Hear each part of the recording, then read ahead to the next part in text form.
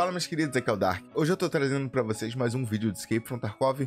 Hoje a gente vai fazer o tutorial da quest Armeiro Parte 1, ou Gunsmith Parte 1 em inglês. Mas antes de ir pro vídeo, eu gostaria de perguntar se vocês querem participar de um sorteio de uma conta Edge of Darkness.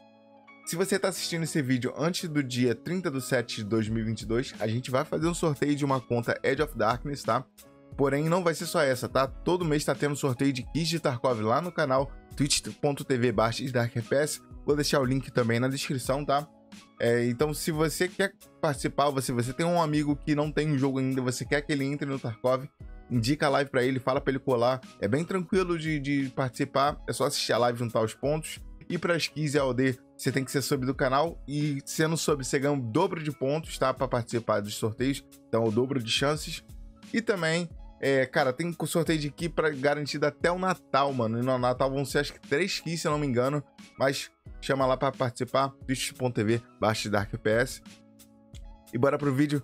Então, essa missão, a Gunsmith Parte 1, ela vai te liberar algumas outras missões e ela é bem tranquila de se fazer, tá?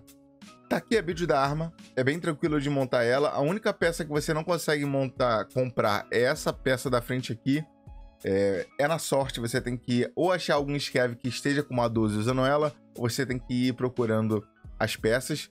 Lembre-se de comprar uma arma nova, tá? Não tente não usar a arma que você pegou de scav, porque se a durabilidade estiver muito baixa, você não vai conseguir entregar. Outra coisa que pode influenciar é munição dentro do cano dela, tá, tá aqui do, do carregador dela. Então, eu recomendo a vocês tente comprar uma arma nova no Jäger no início pode ser difícil porque tem muita gente comprando essa arma para entregar para miss primeira missão do Prapo, a debut, e também para fazer essa missão. Então é um pouquinho difícil, tá? Mas eu vou listar para vocês as peças onde você compra. É, essa parte aqui de trás, você o estoque dela, né?